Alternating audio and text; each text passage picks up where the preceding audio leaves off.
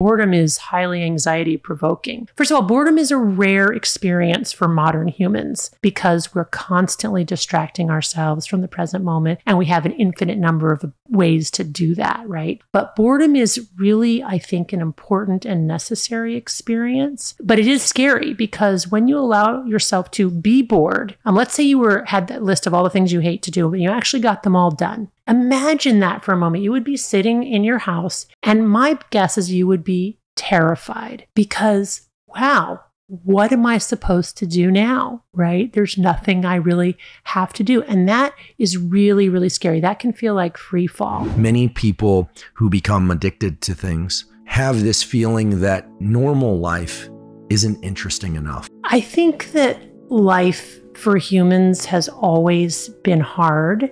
But I think that now it's harder in unprecedented ways. And I think that the way that life is is really hard now is that it actually is really boring. And the reason that it's boring is because all of our survival needs are met. We don't even have to leave our homes to meet every single physical need, you know, as long as you're of a certain level of financial well being. If you look at leisure time, for example, so people without a high school education have 42% more leisure time than people with uh, um, a college degree. My point here is that life is hard now in this really weird way, in that we don't really have anything that we have to do. So we're all forced to make stuff up, you know, whether it's being a scientist or being a doctor or being an Olympic athlete or, you know, climbing Mount Everest and people really vary in their need for friction. And some people need a lot more than others. And if they don't have it, they're really, really unhappy.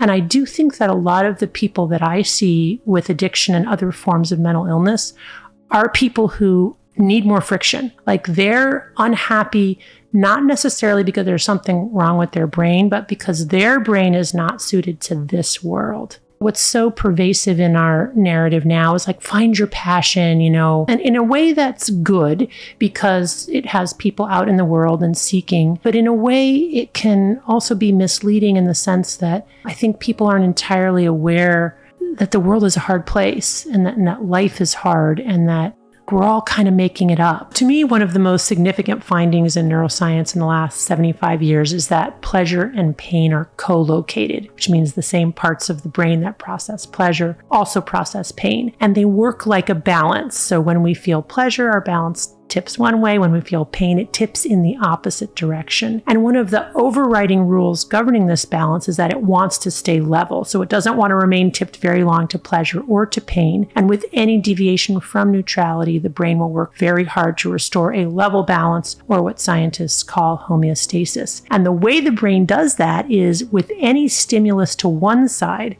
there will be a tip in equal and opposite amount to the other side. So, like, I like to watch YouTube videos. When I watch YouTube videos of American Idol, it tips to the side of pleasure. And then when I stop watching it, I have a come down, which is a tip to the equal and opposite amount on the other side. And that's that moment of wanting to watch one more YouTube video because we're mostly not aware of it. And it's also reflexive. So, we, it's not something that consciously happens or that we're aware of unless we really begin to pay attention.